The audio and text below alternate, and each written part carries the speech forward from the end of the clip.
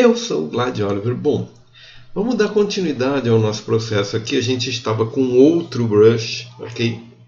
E é muito provável que é, a gente tenha problemas, porque é bem possível de você travar a máquina fazendo tudo ao mesmo tempo, editando, gravando, barará, barará, barará. Bom, eu já mostrei isso para vocês. E aqui é o seguinte, aqui ela tem o lábio, a parte parte que eu chamaria de é, vertical, ela é mais pronunciada na, na, parte de baixo, ok? Aqui, então, a gente tem mais lábio, mais lábio vertical aqui, ok? Inclusive, ela, ela, Trice, tem, porque é uma característica dela, ter uma boca mais carnudona, ok?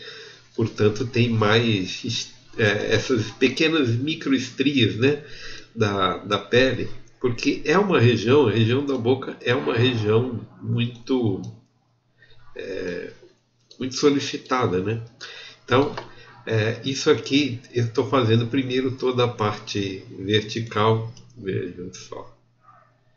Porque a vertical é, faz quase a maioria do, é, do, do que você precisa na parte de baixo aqui. Esse aqui é um lábio, como ele tem muita horizontalidade que vocês estão vendo, é, ele é um lábio, parece que foi bastante pintado de batom, né? O batom realça essas, essas marcas, ok? Ele dá mais, ele é, dá mais roughness, né? Menos roughness, enfim, né? Ele dá mais brilho, né? É, essa é a, a, ideia do batom. Então, como ele dá mais brilho, okay?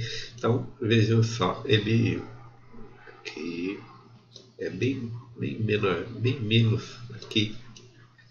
Opa, de vez em quando dá umas travadas. Bom, o nosso amigo trava a máquina dele ferrada pelo menos umas três vezes durante esse processo, porque a boca do, do, do personagem dele está aberta, ok? Então, só para vocês saberem, isso aqui gera um problema cavernoso no, no processo dele. É, eu estou tentando evitar isso aqui no meu. Por isso eu nem fiz nenhum tipo de nenhum tipo de é, shape key para isso. Acabei fazendo o shape key apenas para apenas para é, a minha própria boneca, né? meu próprio aqui. Bom, enfim, veja, aqui está mais o lábio aqui é um pouco mais pronunciado a parte vertical dele, ok? Bom, tá bom, não sei. Depois eu mudo de nome e ninguém fica sabendo que fui eu que fiz, cara. Mas é, para um primeiro e para na verdade, eu sou muito, uma pessoa muito. É, nesse ponto eu sou muito pragmático. Eu não gosto de ficar fazendo um negócio que fala assim, cara, eu não vou nem usar isso aqui, mas acho que em respeito a quem está nos assistindo, falar, não adianta fazer um likeness, né? Ou um processo de likeness pela metade. Isso aqui é o processo completo e acho que vale a pena mostrar para vocês ok? Mesmo que a gente não use. Bom, é provável. Agora nós vamos fazer imperfeições. Vai ter mais uma, uma parte de imperfeições aqui na pele, porque a pele está muito toda igualzinha, tal, não sei o que a gente precisa é, criar umas, umas diferenças. Bom, isso aqui faz parte da assimetria do personagem que eu não fiz, ok?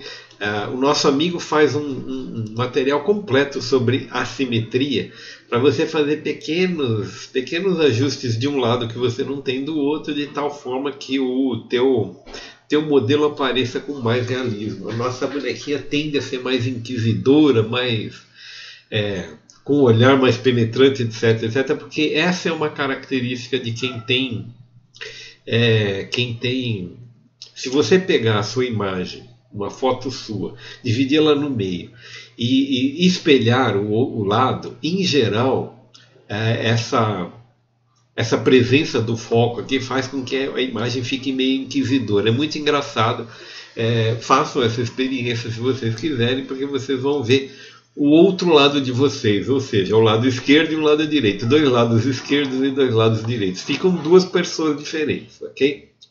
O nosso amigo faz, eu não vou fazer, mas vocês podem testar. Isso aqui está fora do nosso da nosso arcabouço, né? Ah, o que nosso arcabouço está fazendo aqui é basicamente fazer a textura dela. Bom, acho que é isso. Lips estão encerrados e nós vamos partir para a próxima etapa. Por enquanto é isso aí.